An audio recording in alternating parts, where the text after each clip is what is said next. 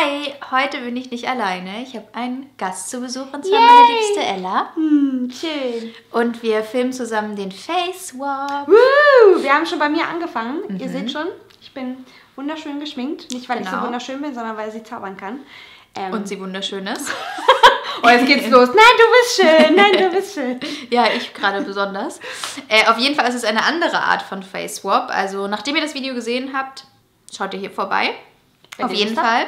Und jetzt geht's aber an dein Everyday Make-up an mir. Genau. Ich bin schon sehr gespannt, weil Ella so ein paar Sachen hat, die ich so im Alltag eigentlich nicht tragen würde, aber die bei ihr immer richtig gut aussehen. Deswegen bin ich sehr gespannt, wie das gleich an mir aussieht. Und ich bin nervös.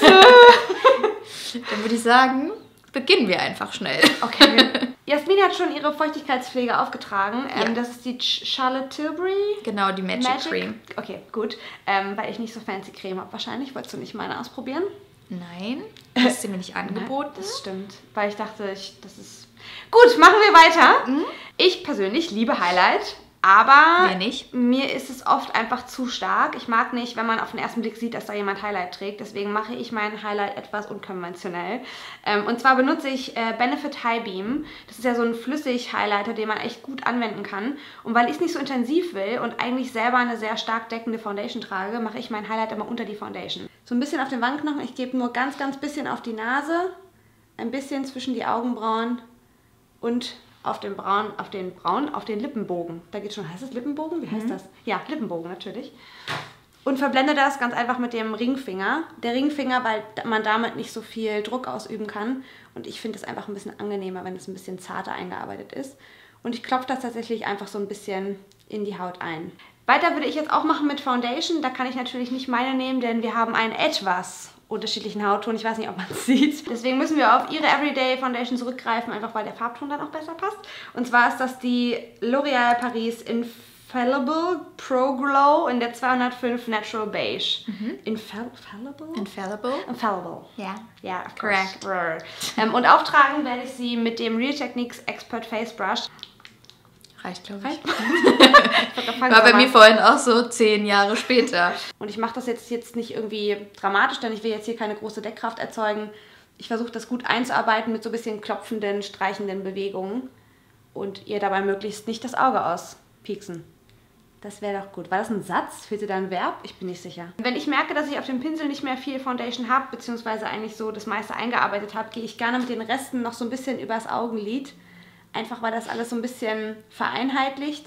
Weiter geht's mit Augenbrauen. Dann nehme ich jetzt auch wieder ein Produkt von Jasmin, weil mein Augenbrauenprodukt wahrscheinlich zu dunkel ist für deine aktuelle Haarfarbe, vermute ich. Und das ist der Yves Saint Laurent Eyebrow Pencil in der Nummer 2. Ich habe, glaube ich, noch nie in meinem Leben Augenbrauen gemacht mit so einem Stift. Nee? Nein. Aber das Schöne an dem Stift ist, da ist hinten noch so eine kleine Bürste dran. Das heißt, ähm, die habt ihr gleich griffbereit, um die Augenbrauen so ein bisschen in Form zu kämmen, bevor ihr anfangt. Augenbrauen bei wem anders. Alter Falter. Oh Gott. Gar kein Problem. Gar kein Problem. Gut, weiter geht's mit den Augen. Da mag ich momentan gerade im Sommer gerne was, das so ein bisschen Schimmer hat. Und da benutze ich gerne von Misha das Fluid Eyes. Das ist so ein Gold-Bronze-Ton, den ich mir zu deiner Haut noch viel besser vorstellen kann als zu meiner. Steht da eine Nummer drauf? Es ist koreanisch, aber ja. ich, kann, ich kann leider gerade nicht so gut lesen. Ansonsten kann ich natürlich immer noch super perfekt koreanisch. Ihr habt hier so einen kleinen Applikator und damit gehe ich tatsächlich einfach nur über die Augen rüber und versuche das so auf dem beweglichen Lid so ein bisschen aufzutragen. Beim Auftrag selbst jetzt mit dem Applikator mache ich jetzt keinen großen Stress. Ich gebe das einfach so ein bisschen drüber, um Produkt aufs Auge zu kriegen und verblende das dann mit dem Ringfinger wieder. Und der Look halt von dem ist wirklich schön. Mhm. Das ist sowas, was man ganz, ganz einfach auftragen kann. Und wenn mhm. man es jetzt nicht so dick aufträgt, hat man auch kein Problem mit Creasen. Und was einfach den ganzen Tag irgendwie so ein, weiß nicht, so ein Hingucker. Weiter geht's mit Lidschatten und da benutze ich gerne die Naked Basic 2 Palette.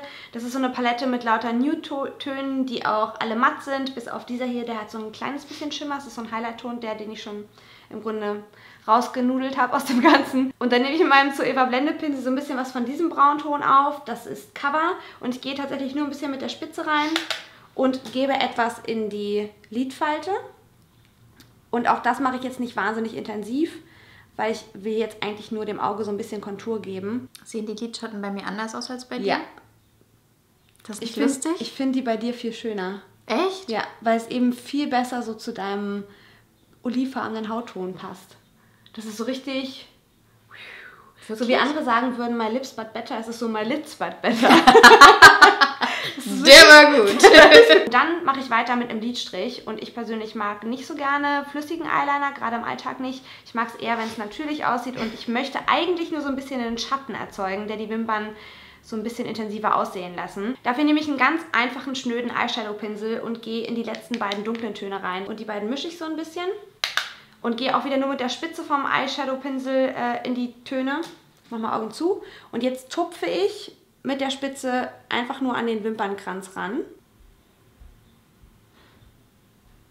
Und jetzt müsst ihr so ein bisschen open-minded sein, bitte. Ähm, ich trage im Alltag täglich künstliche Wimpern. Und das klingt jetzt erstmal sehr extrem, aber ich habe irgendwann festgestellt, ich mag das ja gar. Ich habe eigentlich blondes Haar und bin von daher auch ein sehr blasser Typ und mag gerne so ein bisschen Ausdruck in den Augen zu haben. Und da benutze ich wahnsinnig gerne diese Wimpern. Das sind von Adele die Naturals Multipack, die Demi Wispies. Jetzt ist eben die Frage, wenn ihr es sehr dramatisch möchtet, nehmt ihr vorne ein bisschen ab. Wenn ihr es eher natürlich wollt, nehmt ihr hinten so ein bisschen ab. Weil ihr seht schon, die sind ja mhm. hinten so ein bisschen länger als vorne. Von daher würde ich jetzt bei dir eher auf so einen Alltagslook gehen und würde mir hinten ein bisschen was abschneiden. Okay. Und ich gehe tatsächlich, schneide nur ein Bündchen ab. Ist natürlich super, wenn ihr so eine riesengroße Schere habt. Das geht super unkompliziert dann. Als Wimpernkleber benutze ich gern einen, der natürlich verträglich ist. Einer, den ich als sehr mild empfinde, ist der hier von Fingers. Ähm, das ist ein super schön formulierter. Ich habe auch das Gefühl, der hält besser als der Duo-Wimpernkleber. Das, der einzige Nachteil ist da die Verpackung. Ähm, du siehst schon, Warum riechst du an dem Kleber? Weil ich finde, dass der von Duo nach Fisch riecht. mhm. Ja, gut, das stimmt. Und das mag ich gar nicht. Und der ja. riecht nach Kleber. Nix nach Kleber, genau. Und den trage ich ganz, ganz dünn eigentlich einfach auf das Wimpernbändchen auf. Das geht auch ganz gut mit diesem Appli Applikator da vorne dran. Mhm. Und, während der jetzt trocknet, kannst du ihn loslassen, äh, machen wir weiter mit der Kontur. So. Okay. So lange lässt du den jetzt so lange trocknen? Lasse ich den trocknen. Für mein Highlight, auch da bin ich eher ein sehr schlichter Typ sozusagen. Ich mag mein Highlight nicht so intensiv. Und wenn ich dann noch ein bisschen mehr möchte, nehme ich sehr gerne das hier. Das ist der Star Bronzer von Peter Schmüdinger. Das ist nichts, was ihr auftragen könnt, wenn ihr sagt, oh, ich will unbedingt, dass Leute sehen, dass ich Highlight drauf habe. Bist du angezogen? Ja. Wieder. Huh, huh.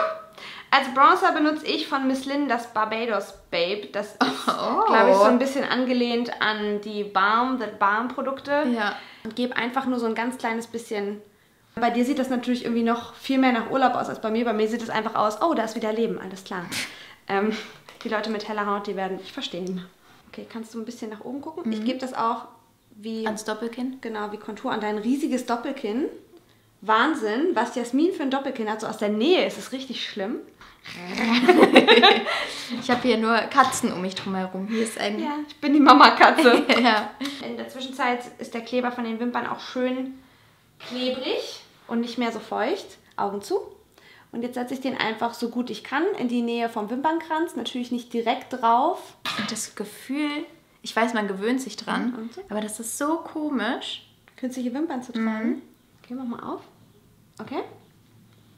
Uh, fancy. Und jetzt gebe ich nochmal mit dem Lidschattenpinsel, wie eben auch, mit einem Schwarz, einfach so ein bisschen eine kleine Schicht auch über das Wimpernbändchen, einfach um das ein bisschen zu verstecken. Ich mache das mit der gleichen Technik wie eben, einfach so ein bisschen am Wimpernkranz tupfen und über das Wimpernbändchen rüber tupfen.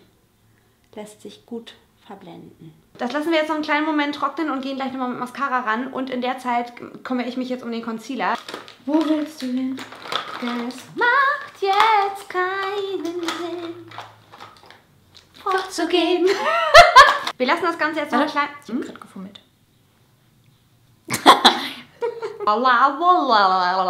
Und zwar benutze ich von Tarte den Shape Tape Concealer in der Farbe Medium Light. Oh, okay. Der hat einen sehr großen Schwammapplikator.